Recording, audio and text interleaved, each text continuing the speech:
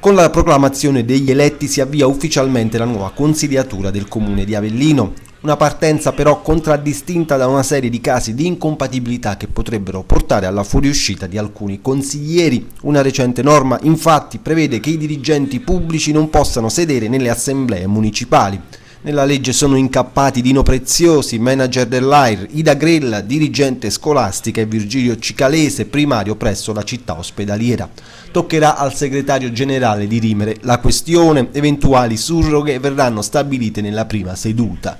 Intanto continua il giro di voci sulla composizione della giunta, mentre in poll per la presidenza dell'assemblea resta il campione di preferenze Livio Petitto.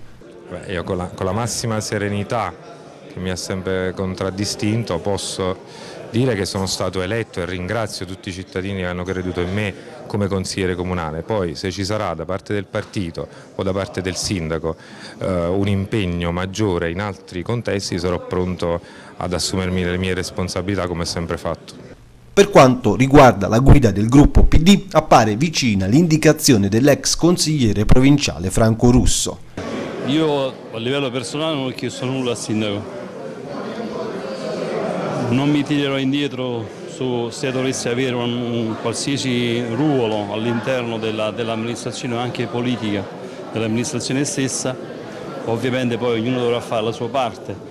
Mi auguro che chiunque sia a rappresentare sia diciamo, il gruppo in consiglio, ma tutti quelli che rappresenteranno il, la, il Partito Democratico, la maggioranza centro-sinistra all'interno della Giunta, diciamo, porteranno avanti quelle che sono le idee programmatiche che tutti quanti conosciamo abbiamo delle priorità da seguire e sono importantissime.